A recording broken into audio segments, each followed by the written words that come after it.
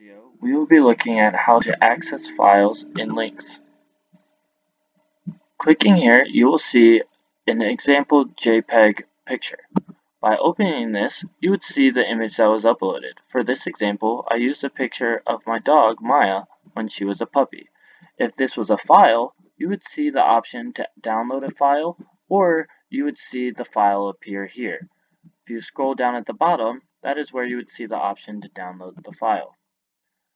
The second thing is a link.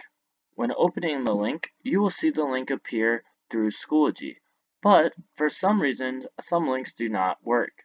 In order to access those links, or if you want to just work in a new tab, all you need to do is quick, click this little square with an arrow in the right hand corner, and it will open you up to that website directly.